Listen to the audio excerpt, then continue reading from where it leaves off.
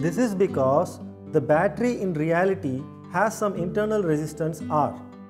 So, the voltage across the terminals of the battery V is EMF minus IR, where I is the current in the circuit and R is the internal resistance of the battery. So, in order to measure the EMF of the cell, the current in the battery should be zero.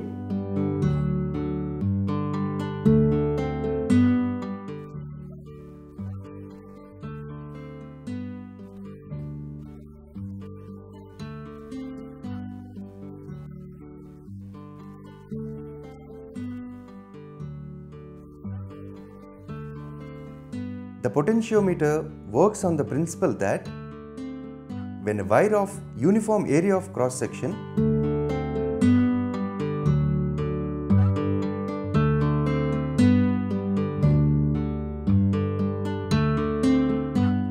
homogeneous composition and low temperature coefficient of resistance is connected to a battery and a steady current is passed through it Then, by Ohm's law, potential difference at the two ends of the wire is given by V is equal to IR, where I is the current in the circuit, R is the resistance of the wire. Now, R is equal to rho into L divided by A. V is equal to I rho into L divided by A.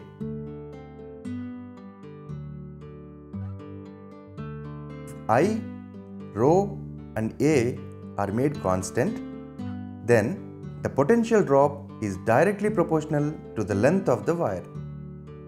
V is directly proportional to L, V is equal to K into L, K is equal to V divided by L. K is the potential drop per unit length or potential gradient.